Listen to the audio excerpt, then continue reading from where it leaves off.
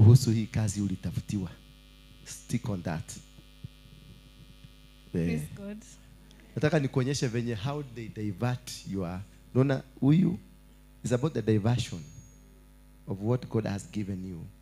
That one is about diversion. Unaenda form 4 unarudi form 2 ukiwa form 2 unafikiria wacha nirudi 8 unapanda tena mpaka university una drop. Bwana yesu asifiwe sana now hear another story because that is where i'm building up my story for today.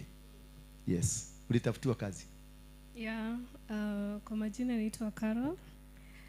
Uh, nimekuwa ina in a messed life for the past six years. Uh, venye nilijitoa nilijipata kwa mikono of another lady.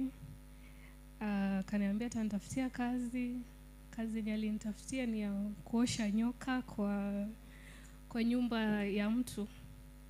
Kuosha nini? Nyoka. Kwa ile kazi ilipatikana. Eh? amekuwa in a mess for over six years si ndio? Yeah. you messed your life. Yeah. but when you decided now let me stop this life akasema nitafutie kazi. Ukaenda ukamtafutia kazi ya nini? Ya kuoza nyoka. Sasa ulienda kuosha nyoka Hapana. where is that? Is it in dubai? No, where?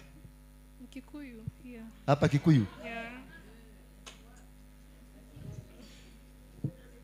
watu wa kikuyu inua mkono juu. Kikuyu massive. Tutaguliswe na nyoriani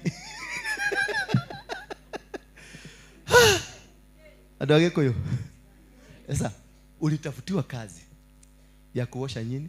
Nyoka. nyoka. Yeah. ulienda Hapana, sikuenda. na si ukienda ina pesa mzuri Eh, ilikuwa inalipa vizuri lakini ngapi? sikuenda. pesa ngapi 70,000. 70,000. Yeah. uthambia nyoka tu ũrĩhwo 70000 eh? utaiosha vizuri alafu ikurambe Oh, how hau noho gwendaga. thank you that is how they divert na si, si dubai wasichana wengine naonaga wakilia ati nimepelekwa kwa mwarabu amesema nioshe nyoka. Si ni kikuyu. Haha Gikuyu, ha. Gikuyu. Nĩ kwaretheirwo wira kwa Mugikuyu na ni Mugikuyu uramwethera wira mundu ndungata ya ngai. Ĩti ndungata ya ngai? Yeah? si huyo mtu ameokoka? Huyo mama anakutafutia kazi kwenda kuosa nyoka? Ameokoka si ndio äämwathani ya gacio mwathani ya gaco kwä na wä ra mwega må no umä rä te wa gå thambia nyoka. Ngaki. Ngagi